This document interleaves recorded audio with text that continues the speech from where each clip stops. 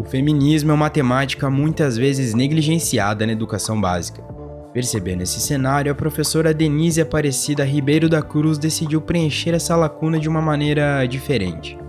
Em sua dissertação de mestrado em ensino de história pela UFPR, a professora desenvolveu jogos de cartas e de tabuleiro que trazem o feminismo como tema central. O material foi desenvolvido para estudantes do ensino fundamental. A ideia deu tão certo que o trabalho conquistou o primeiro lugar na quinta edição do Prêmio Prof. História de Melhor Dissertação. Eu fiquei muito feliz e muito honrada por ter sido escolhida a minha, a minha dissertação, porque é fruto de um trabalho bastante intenso, meio da professora Marta, e também que abre a possibilidade de outras pessoas conhecerem. O Prof. História é um programa de pós-graduação em ensino de história que abrange todo o país a ideia é proporcionar a formação continuada de professoras e professores de educação básica nessa área do conhecimento. Desde 2018, o Profistória premia as melhores dissertações desenvolvidas no programa. Denise tem mais de 10 anos de experiência em sala de aula. Ela conta que a ideia de criar um material didático que falasse dos direitos das mulheres partiu das próprias alunas. Elas me perguntavam, mas e as mulheres? Como que as mulheres é, viviam na época das guerras? E na Idade Média? E agora? Então essa era uma percepção delas, da falta delas. E eu não encontrava facilmente essa resposta nos livros didáticos, por exemplo. Antes de desenvolver os jogos, a professora aplicou um questionário para avaliar o nível de conhecimento dos estudantes sobre o feminismo.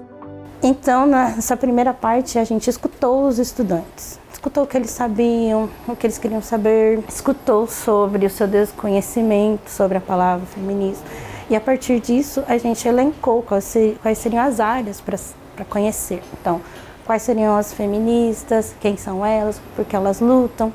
A partir daí, Denise propôs a criação de um material didático que abordasse o tema de maneira leve e descontraída, por meio de jogos. Porque o jogo ele não tem o certo e o errado. Você ganha uma partida, você aprende com ela e depois você joga novamente. Então não é opressora, você não trabalha com o erro, mas você trabalha com a possibilidade do acerto da próxima rodada. Os quatro jogos desenvolvidos convidam os estudantes, por exemplo, a formar figuras de mulheres importantes para o movimento feminista e as lutas que elas empenharam ao longo da história. Nesse outro, os jogadores partem da dificuldade em superar preconceitos com um número limitado de cartas. Todas as iniciativas convidam os estudantes para a reflexão a respeito do tema. Quando eles descobrem que tal direito começou em tal ano, eles falam: não, mas isso foi ontem, como que até ontem a gente tinha a falta disso? Eles também gostam muito do assunto, eles preocupam-se em saber mais. É uma descoberta para eles. A dissertação de Denise foi orientada pela professora Marta Rameister, do Departamento de História da UFPR, que destaca a relevância do trabalho. Gostei muito da proposta, ainda mais com essa temática e justamente no período em que a Denise vem trabalhar isso, que foi um período em que os direitos, não só das mulheres, mas da sociedade como um todo, conquistados a duras penas, foram colocados em ameaça, né? Além da conquista do prêmio Prof. História, Denise tem uma expectativa que vai além das honrarias acadêmicas.